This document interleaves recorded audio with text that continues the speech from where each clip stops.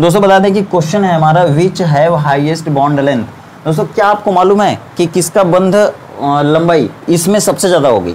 ठीक है? Highest bond length मतलब सबसे ज़्यादा होगी। किसकी ज़्यादा होगी? जिसका बॉन्ड ऑर्डर सबसे कम होगा। बॉन्ड ऑर्डर सबसे कम होगा। तो देखिए, इसमें से हमको देखना पड़ेगा कि किसका बॉन्ड ऑर्डर कम है, उसी की बॉन्ड लेंथ हाईएस्ट होगी। देखिए सबसे पहले यहाँ पे क्या है? कैसे निकालते हैं हम, वो भी आपको बताएँगे। जैसे देखिए ऑक्सीजन दो है। दो ऑक्सीजन में कितने इलेक्ट्रॉन हो जाते हैं? सोलह। सोलह में एक प्लस है। इसका मतलब एक इलेक्ट्रॉन गायब है। कितना हो गया? पंद्रह। पंद्रह का मतलब हो गया दस में से सीधे पाँच घटा दीजिए, आपका आएगा बटे दो तो ये आ जाएगा टू पॉइंट फाइव ठीक है? इसका आ गया टू पॉइंट फाइव इसका देखिए, दो ऑक्सीजन है। इसका मतलब इसमें कितने इलेक्ट्रॉन हुए? सोलह। सोलह का मतलब हो गया दस में से छः गया सीधे, बटे दो करेंगे तो आ जाएगा कितना? टू पॉइंट ज़ीरो या टू ठीक है? ये देखिए ऑक्सीजन है, कितनी बार है? दो बार है तो दो ऑक्सीजन का मतलब सोलह सोलह, एक सत्रह सत्रह का मतलब हुआ दस में से सात गया, बटे दो बराबर आ गया कितना? वन पॉइंट फाइव आ गया, ठीक है? वन पॉइंट फाइव ये देखिए, सोलह सोलह इलेक्ट्रॉन इसमें, दो और लिया अट्ठारह हो गया, दस माइनस आठ गया, बटे दो बराबर आ गया एक।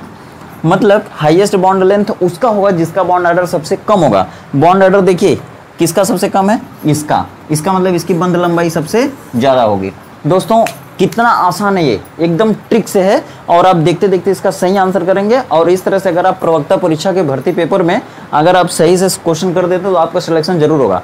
तो दोस्तों, आशा करता हूँ आपको वीडियो पसंद आई होगी। देखिए, ऐसी वीडियो पाने के लिए हमारे चैनल से आपको जुड़ना होगा। चैनल को सब्सक्राइब